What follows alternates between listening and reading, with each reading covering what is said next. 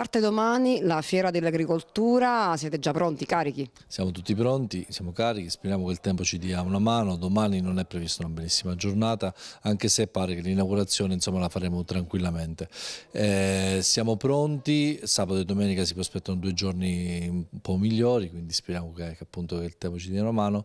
Io ecco, ci tengo a precisare, a ricordare che anche quest'anno ci sarà il bus navetta gratuito, e ringrazio per questo la Baltur che come ogni anno mette a disposizione gratuitamente i propri mezzi ed è un segno di grande vicinanza al, al territorio. Eh, le fermate insomma, da, partiranno da piazza, da piazza Garibaldi dalle ore 10 alle ore 20 ogni ora.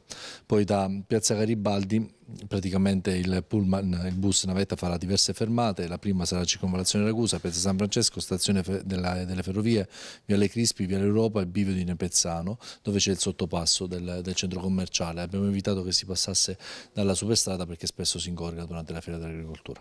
Quest'anno grande attenzione al prodotto tipico più degli scorsi anni. Sì, l'area enogastronomica è una delle novità più importanti, eh, i piatti della tradizione eh, con i prodotti del territorio eh, sembra una cosa normale da, da fare, eh, però in realtà è, è, una grande novità perché spesso anche per i piatti della tradizione si vanno ad acquistare materie prime che non sono del nostro territorio. Quindi abbiamo avuto una grande attenzione su questo, 600 metri quadri coperti in questa area enogastronomica, domani venerdì ci sarà addirittura anche il pesce del nostro mare Adriatico, veramente è stato fatto un lavoro straordinario.